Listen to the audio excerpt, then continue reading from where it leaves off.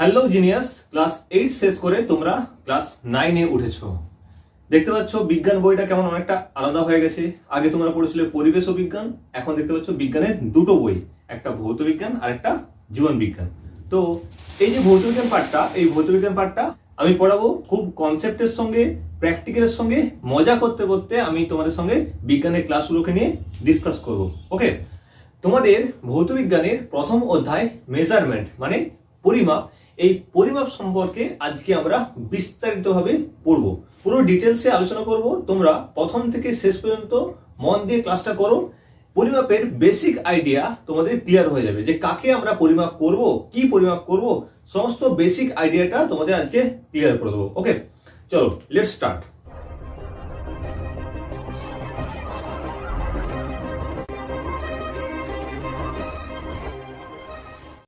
আজকে আমরা কি কি পড়ব সেটা একটু দেখে নিই। প্রথমে আমরা করব কি? না, প্রথমে আমরা করব ফিজিক্যাল কোয়ান্টিটি বা ভৌত রাশি সম্পর্কে। সেকেন্ড আমরা করব টাইপস অফ ফিজিক্যাল কোয়ান্টিটি অর্থাৎ ভৌত রাশি কয় প্রকার সেটা আমরা জেনে নেব। তিন নম্বর আমরা জানব কি? স্কেলার রাশি সম্পর্কে। চার নম্বর আমরা জানব কি? ভেক্টর রাশি।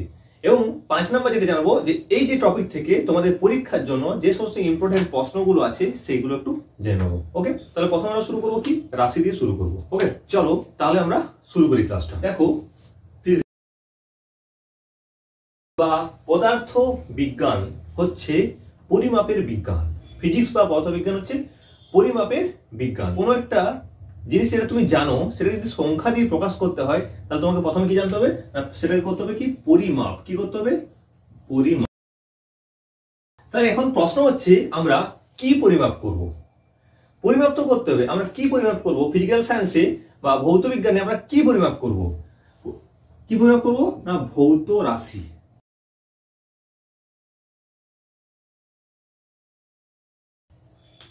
ক্লিয়ার রাশি কোনগুলো যেগুলো আমরা ইন্দ্রিয়ের সাহায্যে পরিমাপ করতে পারি। যেমন কি গন্ধ, বর্ণ, সেগুলো হচ্ছে রাশি। আর ভৌত রাশি কোনগুলো যেগুলো আমরা যন্ত্রের সাহায্যে পরিমাপ করতে পারি। ক্লিয়ার যেগুলো যন্ত্রের সাহায্যে পরিমাপ করতে পারি, যেমন কি দৈর্ঘ্য মাপতে পারি আমরা আমরা আয়তন মাপতে পারি, ক্ষেত্রফল মাপতে পারি, এগুলো হচ্ছে ভৌত রাশি। ক্লিয়ার তাহলে কি বললাম? আমরা পরিমাপ করব, কাকে পরিমাপ করব? না, এখানে আমরা যেটা পরিমাপ করব, সেটা হচ্ছে ভৌত রাশি পরিমাপটা আমরা শিখব। যেটা বলা হচ্ছে ফিজিক্যাল কোয়ান্টিটি বা ভৌত রাশি। তাহলে এই ভৌত রাশি বা ফিজিক্যাল কোয়ান্টিটি কাকে বলব? কাকে বলব? না পরিমাপ যোগ্য পরিমাপ যোগ্য যে কোনো প্রাকৃতিক বিষয়কে বলা হয় ভৌত রাশি। কি বললাম? যেগুলোকে পরিমাপ করা যাবে। সেই সমস্ত যে প্রাকৃতিক বিষয়, সেগুলোকে আমরা কি বলব? ভৌত রাশি। পরিমাপ যোগ্য প্রাকৃতিক বিষয়কে বলা হয় ভৌত রাশি। ক্লিয়ার তাহলে কি বলব? পরিমাপ যোগ্য প্রাকৃতিক বিষয়। তোমরা কি করবে? না, এগুলো আমার সাথে সাথে খাতাতে নোট করে নেবে।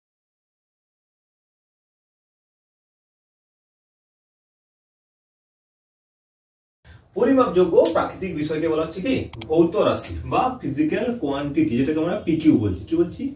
পিকিউ ওকে মানে কি? যেগুলোকে আমরা পরিমাপ করতে পারব। যেমন এক্সাম্পল কি হবে? যদি আমরা এক্সাম্পল বলি, উদাহরণ। যেমন ভর। ভর কি? একটা ভৌত রাশি ভরকে আমরা পরিমাপ করতে পারি। যেমন দৈর্ঘ্য।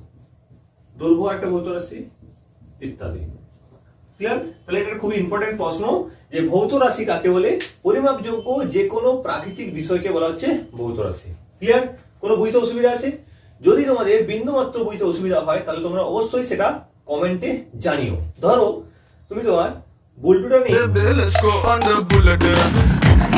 নিয়ে কি করেছ? না পেট্রোল পাম্পে গেছো। কি জন্য? পেট্রোল নিতে। তো বলো তো পেট্রোল ভৌত রাশি না ভৌত রাশি নয়? দেখো পেট্রোলকে কি পরিমাপ করা যায়? পেট্রোল কি ভৌত রাশি? তাহলে প্রথম ব্যাপার হচ্ছে যে দেখব কি সেটাকে পরিমাপ করা যায় কিনা। আমি আগেই বলেছি যে পরিমাপ যোগ্য হতে হবে। পরিমাপ যোগ্য হতে হবে। যে পেট্রোলকে পরিমাপ করা যায় কিনা সেটা জানতে হবে। পেট্রোলকে যদি পরিমাপ করা যায়, তাহলে পেট্রোল ভৌত রাশি হবে। ক্লিয়ার তাহলে বলো পেট্রোলকে কি পরিমাপ করা যায়? না, পেট্রোলকে পরিমাপ করা যায় না। কেন? তোমরা বলবে, স্যার, এক লিটার পেট্রোল, দু লিটার পেট্রোল, এভাবে তোমরা পরিমাপ করি। তা আমরা বাইকে তো সেভাবে তেল নিই। যে এক লিটার পেট্রোল, দু লিটার পেট্রোল, তাই তো?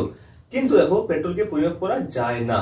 তোমরা এটা পরিমাপ করছ, সেটা পেট্রোলকে পরিমাপ করছ না, পেট্রোলের আয়তনকে পরিমাপ করছ। যে এক লিটার পেট্রোল, দু লিটার পেট্রোল মানে পেট্রোলের যে আয়তন, সেই আয়তনটাকে পরিমাপ করছ। ভালো লক্ষ্য করবে। ধরো তুমি দোকানে চিনি কিনতে গেছো। তুমি চিনিকে পরিমাপ করছ না কিন্তু, চিনির ভরকে পরিমাপ করছ। ক্লিয়ার কনসেপ্টটা ক্লিয়ার করে নাও। পেট্রোলকে পরিমাপ করা যাচ্ছে না পেট্রোলের আয়তনকে পরিমাপ করা যাচ্ছে। চিনিকে পরিমাপ করা যাচ্ছে না, চিনির ভরকে পরিমাপ করা যাচ্ছে। নিশ্চয় বোঝা গেল তো? তাহলে কি বলব? না পেট্রোল কিন্তু ভৌত রাশি নয়। পেট্রোল কি? না পেট্রোল একটা পদার্থ। পেট্রোল কি? পেট্রোল হচ্ছে পদার্থ। যা একটা ভর আছে যা একটা আয়তন দখল করে থাকে। ক্লিয়ার আমরা পদার্থের সংখ্যা পড়েছি আগের ক্লাসে নিশ্চয় বোঝা গেল? তাহলে এখানে একটা জিনিস আমরা জানলাম যে পেট্রোল।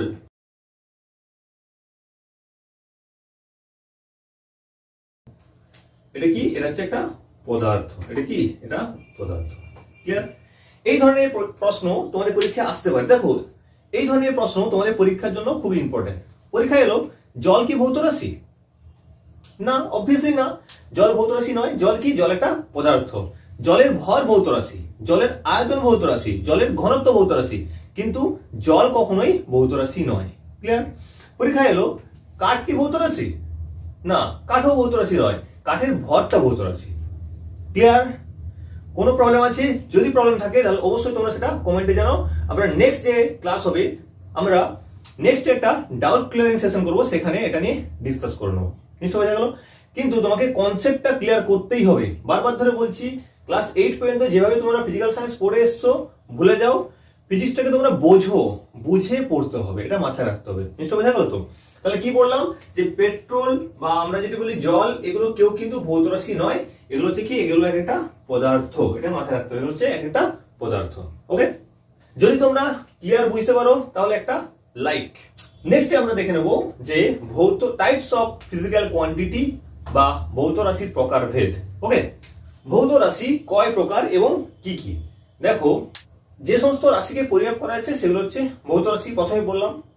তাহলে এই ভৌত রাশি হচ্ছে দুই প্রকার। অনেক অনেক বইয়ে তিন প্রকার আছে, অনেক অ্যাডভান্স লেভেলে তোমরা সেগুলো শিখবে।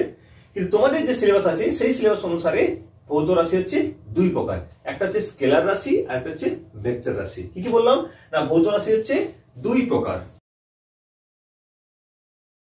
দুই প্রকার। এক নম্বর যেটা বললাম, সেটা হচ্ছে স্কেলার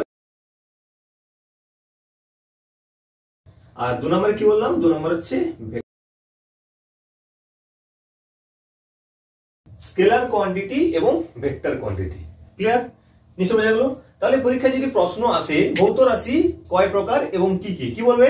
না, ভৌত রাশি হচ্ছে দুই প্রকার। কি কি? একটা হচ্ছে স্কেলার রাশি একটা হচ্ছে কি? ভেক্টর রাশি। ওকে কোন অসুবিধা আছে এই পর্যন্ত? স্কেলার রাশি। Scalar quantity. স্কেলার কোয়ান্টিটি বা স্কেলার রাশি। দেখো, স্কেলার রাশি আমরা কাকে বলব? যে সমস্ত রাশির মান আছে, কিন্তু দিক বা অভিমুখ নেই, তাদের আমরা বলব কি? স্কেলার রাশি। তার মানে কি? কোন রাশিকে পরিমাপ যদি করতে হয়, আমাদের দুটো জিনিসের দরকার হতে পারে।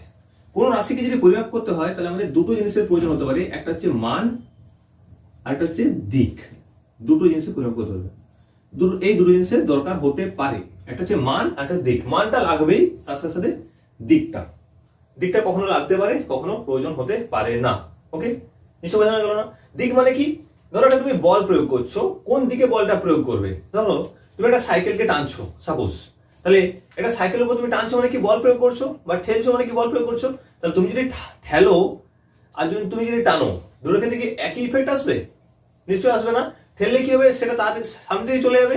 আর টানলে কি হবে? না, সেটা পিছন দিকে পিছিয়ে আসবে। তাহলে এই যে দিকটা, সামনের দিকে এবং পিছনের দিকে, এটা হচ্ছে দিক। ক্লিয়ার আর মানটা মানে কি? তুমি কত জোরে টানছো বা কত জোরে ঠেলছো এটা হচ্ছে মান। তাহলে এর উপর ভিত্তি করে, এই মান আর দিকের উপর ভিত্তি করে রাশিকে দুটো ভাগে ভাগ করা হয়েছে। একটা বললাম কি? স্কেলার আর একটা হচ্ছে ভেক্টর। তাহলে স্কেলার রাশি কোনটা? না, যে সমস্ত রাশির শুধুমাত্র মান আছে কিন্তু দিক বা অভিমুখ নেই। তাকে বলা হচ্ছে কি? স্কেলার রাশি। ক্লিয়ার যে সমস্ত রাশির মান আছে, কিন্তু দিক বা অভিমুখ নেই। অথবা এটাকে যদি তুমি একটু অ্যাডভান্স লেভেলে বলো। তাহলে কি বললাম? যে সমস্ত রাশি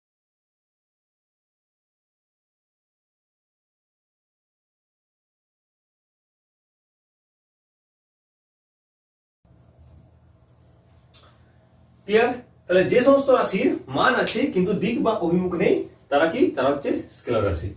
এটাকে যদি তুমি একটু অ্যাডভান্স লেভেলে বলো, তাহলে তুমি এভাবে বলতে পারো যে যে সমস্ত রাশির মান আছে, কিন্তু দিক বা অভিমুখ নেই, অথবা দিক বা অভিমুখ থাকলেও তার পরিবর্তনে সেই রাশিটি কোনো পরিবর্তন হয় না। তাকে বলা হচ্ছে কি? স্কেলার রাশি। ক্লিয়ার আরেকবার বলছি রাশির মান আছে, কিন্তু দিক বা অভিমুখ নেই, অথবা দিক বা অভিমুখ থাকলেও তার যদি পরিবর্তন করা হয়, তাহলে কিন্তু কোনো পরিবর্তন হয় না। সেটা বলেছে কি? স্কেলার রাশি। ক্লিয়ার ধরো সাপোজ আমি দৈর্ঘ্য মাপবো। একটা স্কেল নিয়েছি। এই স্কেল দিয়ে, ধরো সাপোজ আমি এদিকে মাপছি। যে এটা হচ্ছে কত? না, এটা হচ্ছে দশ সেন্টিমিটার বা বারো সেন্টিমিটার তাহলে এই দিক থেকে মাপলাম বারো সেন্টিমিটার যদি আমি এই দিক থেকে মাপি, তাহলে কি কমে যাবে? বা বেড়ে যাবে? কোনো সম্ভাবনা থাকবে কি? এই ধরনের থাকবে না। তার মানে কি? ধরো এই যে বোর্ডটা আছে, আমি এই দিক থেকে এদিকে যদি মাপলি যেটা মাপ হবে, আবার এই দিক থেকে এদিকে মাপলো কি? সেম মাপ হবে, কোনো পরিবর্তন আসবে না। নিশ্চয় বোঝা গেল তো? তার জন্য কি এই যে দৈর্ঘ্যটা দৈর্ঘ্যটা থেকে একটা স্কেলার রাশি। তাহলে কি বললাম? যে সমস্ত রাশির মান আছে, কিন্তু দিক নেই, অথবা দিক বা অভিমুখ থাকলেও তার পরিবর্তনে কোনো পরিবর্তন হয় না, তাকে বলা হচ্ছে কি স্কেলার রাশি। আর সব থেকে ইজি করে যদি বলতে চাও, তাহলে একটা বলবে যে যে সমস্ত রাশির মান আছে, কিন্তু দিক বা অভিমুখ নেই, তাকে বলা হচ্ছে কি? স্কেলার রাশি। উদাহরণ, উদাহরণটা মোস্ট মোস্ট ইম্পর্টেন্ট যে কি কি স্কেলার রাশি আছে? উদাহরণ বলব কি? দৈর্ঘ্য যেমন, দৈর্ঘ্য একটা স্কেলার রাশি, ভর একটা স্কেলার রাশি, আয়তন একটা স্কেলার রাশি, কার্য একটা স্কেলার রাশি, শক্তি একটা স্কেলার রাশি, কম্পাঙ্ক একটা স্কেলার রাশি, তড়িৎ প্রবাহমাত্রা একটা স্কেলার রাশি, চাপ একটি স্কেলার রাশি। এই ধরনের অনেক রাশি আছে যেগুলো হচ্ছে স্কেলার রাশি। কি কি বললাম? দৈর্ঘ্য ভর, উষ্ণতা, চাপ, কম্পাঙ্ক তড়িৎ প্রবাহমাত্রা শক্তি। এগুলো কি? এগুলো সবই হচ্ছে স্কেলার রাশি বোঝা গেল? এই উদাহরণগুলো তোমরা কিন্তু মনে রাখবে প্রত্যেকে যে কোনগুলো স্কেলার রাশি ক্লিয়ার? এরপরে জানব কি? এরপরে জানব আমরা ভেক্টর রাশি সম্পর্কে। কি জানব? ভেক্টর রাশি সম্পর্কে।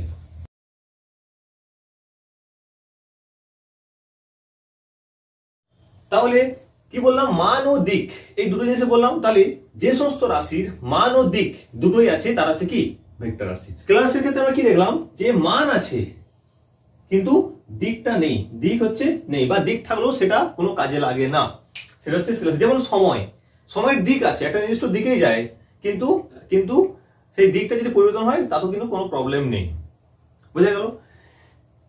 ভেক্টর রাশির ক্ষেত্রে কি বলব? না, যে সমস্ত রাশির মান ও অভিমুখ দুই আছে, তাকে বলা হচ্ছে ভেক্টর রাশি। কি বলব? যেসব রাশি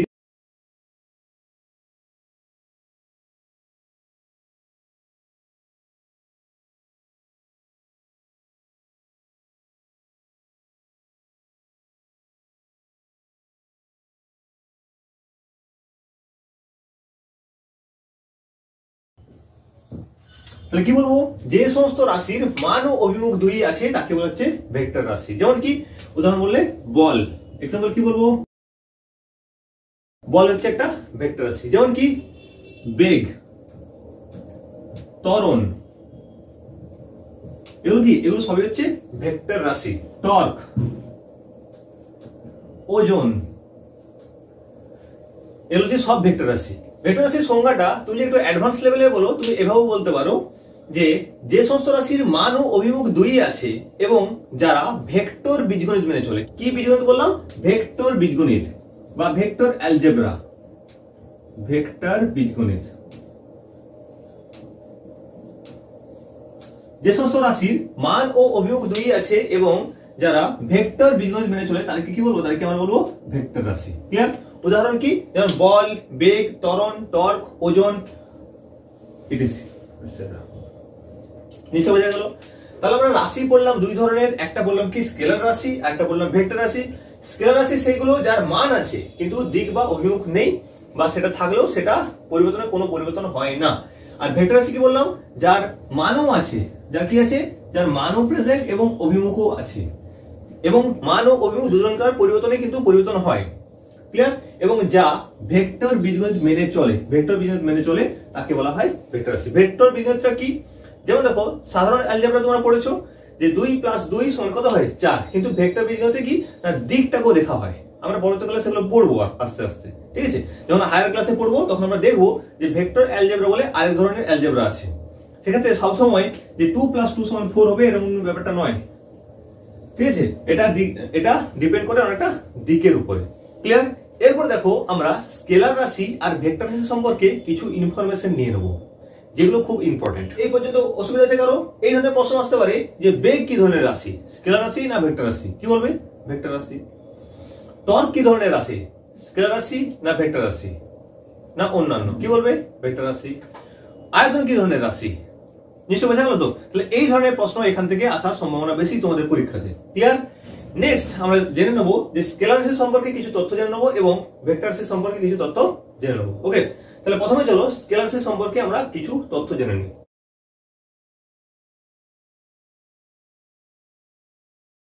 দেখো স্কেলার রাশির যে যোগ বিয়োগগুলো হয়, সেগুলো হচ্ছে সাধারণ বীজগণিত মেনেই হয়। কি বললাম? স্কেলার রাশির যোগ বিয়োগ সাধারণ বীজগণিত মেনে হয়।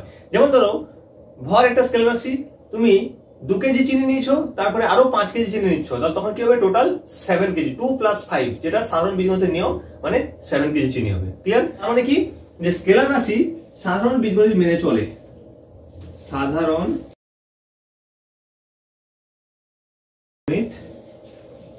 মেনে চলে। এক্সাম্পল কি বলবে? Two kg plus three kg is two five kg. Clear next এটা হচ্ছে যে দুটো যদি আমরা স্কেলার রাশিকে গুণ করি, সবসময় একটা স্কেলার রাশি পাওয়া যায়। কি বললাম? দুটো স্কেলার রাশি গুণ করলে সবসময় স্কেলার রাশি পাওয়া যায়। বোঝা গেল? যেমন কি, দৈর্ঘ্য আর দৈর্ঘ্য গুণ করলে আমরা কি পাবো? ক্ষেত্রফল পাবো। সেটা একটা স্কেলার রাশি। বোঝা গেল? তাহলে কি বলছি? যে দুটো স্কেলার রাশির গুণ ফলে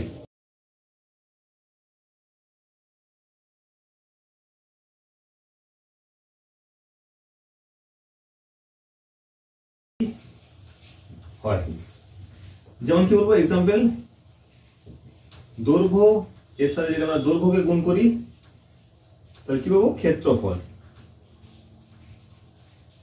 যেটা হচ্ছে একটা স্কেলার রাশি। ওকে তিন নম্বর যেটা বলব, যে স্কেলার রাশিকে শুধুমাত্র সংখ্যা এবং একক দিয়ে প্রকাশ করা হয়। কি বলব? না, শুধুমাত্র সংখ্যা ও একক দিয়ে প্রকাশ করা হয়।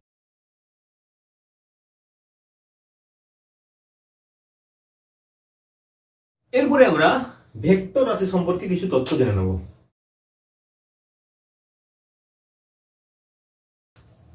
দেখো, ভেক্টর রাশি ভেক্টর বীজগণিত মেনে চলে, সাধারণ বীজগণিত মেনে চলে না।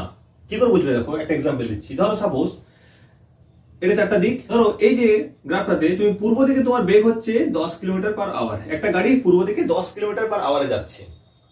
আরেকটা গাড়ি উত্তর দিকে কুড়ি কিলোমিটার পার আওয়ারে যাচ্ছে। একটা গাড়ি পূর্ব দিকে যাচ্ছে, কোন দিকে? পূর্ব দিকে যাচ্ছে দশ কিলোমিটার পার আওয়ারে একটা গাড়ি উত্তর দিকে যাচ্ছে কি?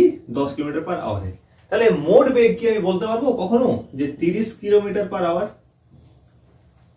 এটা বলতে পারব কি? পারব না। এটা বলতে পারব না।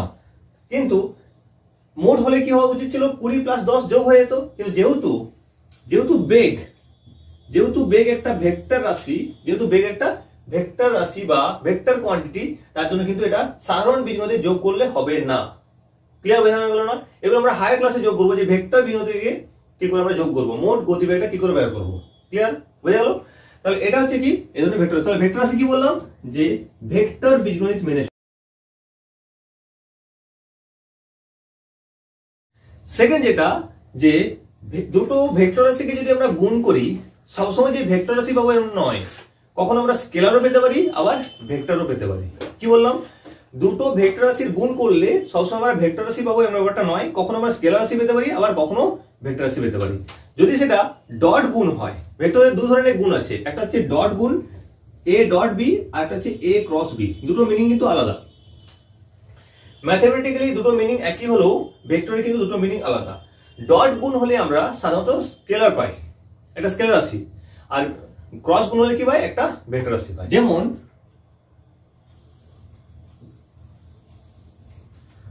বল ইনটু সরণ। বল ইনটু সরণ। বল হচ্ছে একটা ভেক্টর রাশি, একটা ভেক্টর কোয়ান্টিটি আর সরণও কিন্তু একটা ভেক্টর কোয়ান্টিটি কিন্তু এতে যদি গুণ করা হয়, তাহলে কি হবে? না, এটা হবে কি? না, কার্য। কিন্তু কার্যটা একটু আমরা কি বললাম? এটা হচ্ছে একটা স্কেলার কোয়ান্টিটি তাহলে দুটো ভেক্টর রাশির গুণ ফলে একটা স্কেলার রাশি হতে পারে। আবার দুটো ভেক্টর রাশির গুণফলে একটা ভেক্টর রাশিও হতে পারে। যেমন কি টর্ক এবং কৌণিক ভরবেগ। সেক্ষেত্রে গুণ করলে আমরা একটা ভেক্টর রাশি পাবো। তাহলে কি বললাম? যে দুটো ভেক্টর রাশির গুণফলে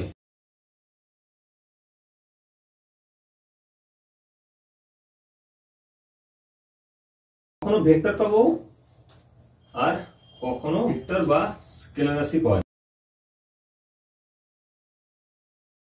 ক্লিয়ার লাস্ট যেটা বলব, সেটা হচ্ছে কি ভেক্টরকে যখন প্রকাশ করা হয়, একটা ভেক্টর রাশিকে যখন প্রকাশ করা হয়, তখন একটা অ্যারো চিহ্ন ব্যবহার করা হয়।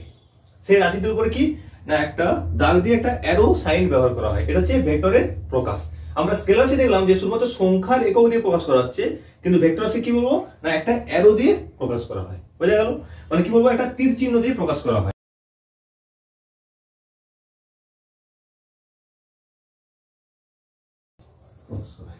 ক্লিয়ার? বোঝা গেল? তাহলে এই হচ্ছে টোটাল বিষয়। তাহলে কি বললাম? যে ভেক্টর রাশি হচ্ছে ভেক্টর বীজগণিত মেনে চলে। ভেক্টর দুটো ভেক্টর রাশির গুণফলে কখনো একটা স্কেলার রাশি হতে পারে, আবার কখনো একটা ভেক্টর রাশি হতে পারে। আর কি বললাম? যে ভেক্টর রাশির উপর একটা তীর চিহ্ন দিয়ে প্রকাশ করা হয়। একটা তীর চিহ্ন দিয়ে ভেক্টর রাশিকে প্রকাশ করা হয়।